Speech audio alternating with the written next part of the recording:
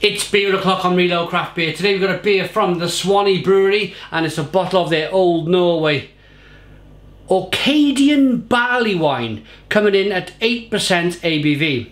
330 bottle. There's the bottle cap.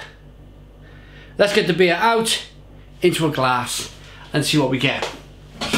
The beer was kindly sent to us from imperialbeerclub.com Imperial Beer Club, a fantastic company where you pay £42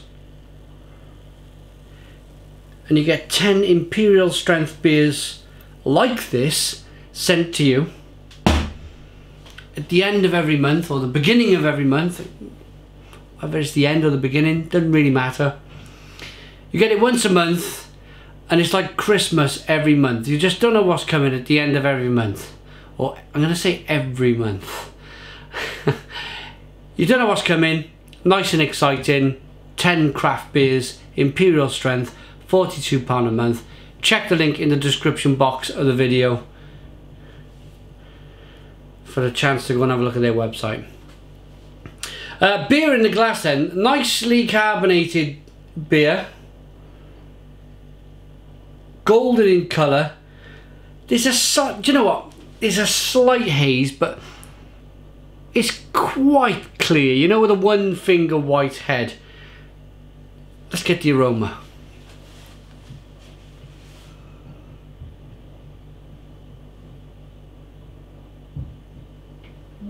And I'll say it before and I'll say it again.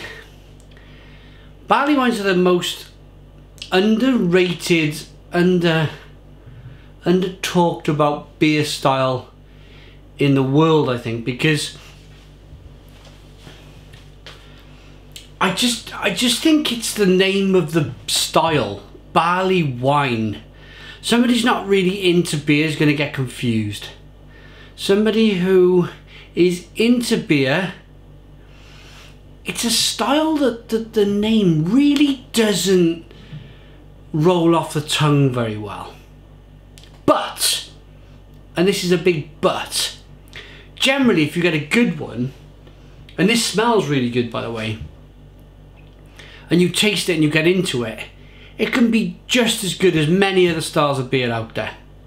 So what do you get in the aroma? A nice hoppy character. Look at that lovely creamy dense head there.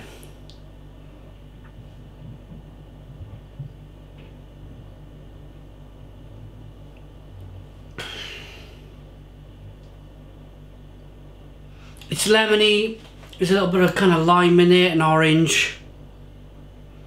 And then lots and lots of sweet biscuit malt. Let's dive in. Cheers everyone.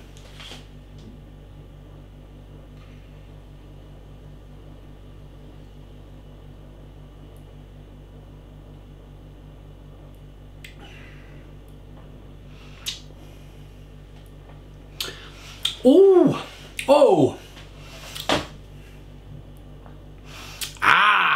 Right. I was about to say.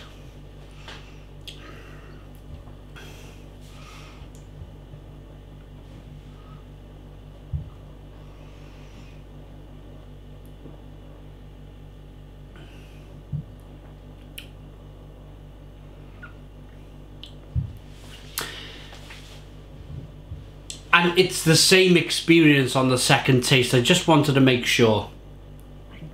This beer is incredibly sweet. Incredibly sweet. It's one of the sweetest beers I've had on the channel.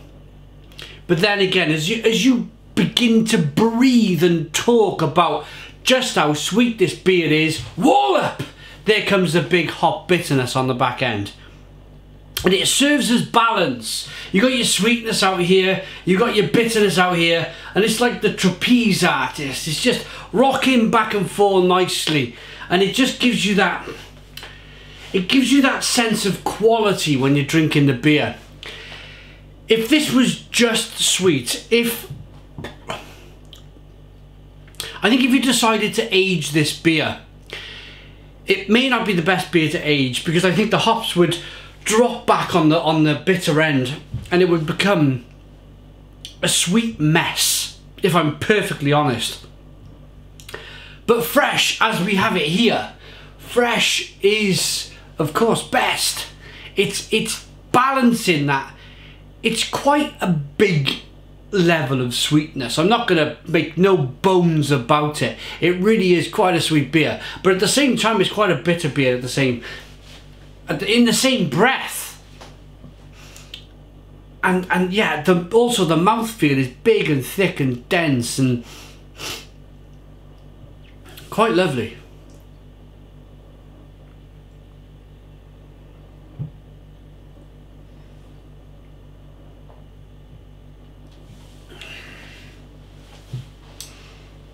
A little bit of grapefruit, a little bit of lemon, lots of sweetness, and then biscuitiness and breadiness, and then bitterness on the back end. I think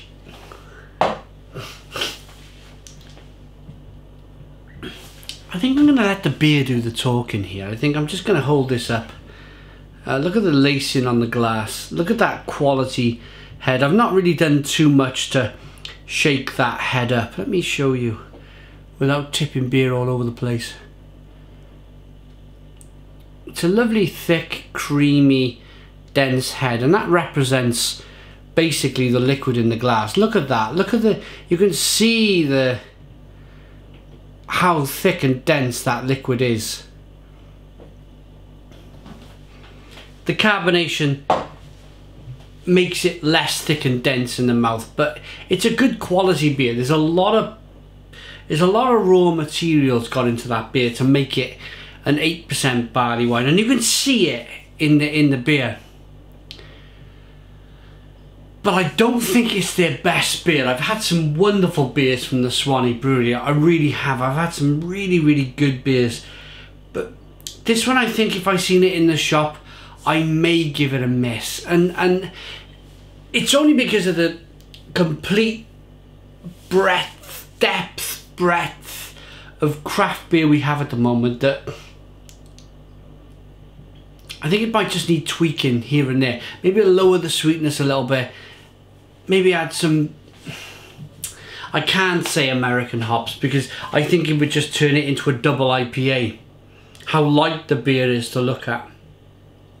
So rating, I think I'm going to give it a 7. It's a 7 out of 10 from Real Craft Beer. Please put your comments in the comments box. Subscribe to our daily beer reviews. Give us a big fat thumbs up.